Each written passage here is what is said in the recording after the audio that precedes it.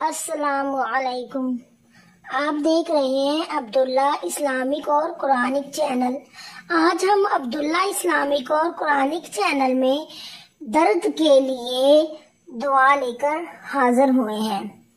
नबी करीम सल्लल्लाहु अलैहि वसल्लम ने फरमाया है अगर किसी को कहीं भी किसी भी हिस्से में दर्द हो तो, ये दुआ पढ़ लिया करो।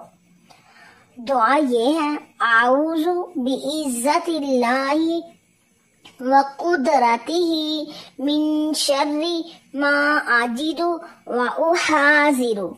दुआ को दोबारा रिवाइज कर देते हैं आउजु बिइज्जतिल्लाहि व कुदरतिही मिन शर्री मा आजिदु व उहाजिरु.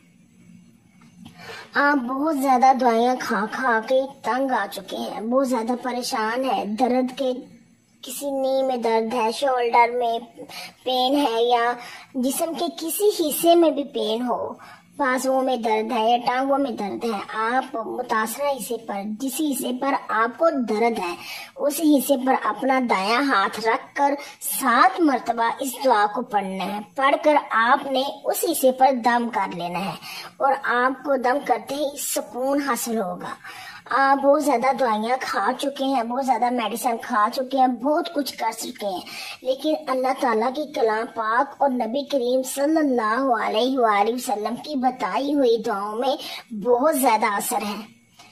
आप इस दुआ को पढ़ते रहें और पढ़ने का मामूल बना लें। जब भी नमाज़ पढ़े तो उसी वक्त सात मरतबा पढ़कर दम कर लिया करें। आपको बहुत ज़्यादा फाका होगा, दर्द से आराम होगा, आपको सुकून मिलेगा। बहुत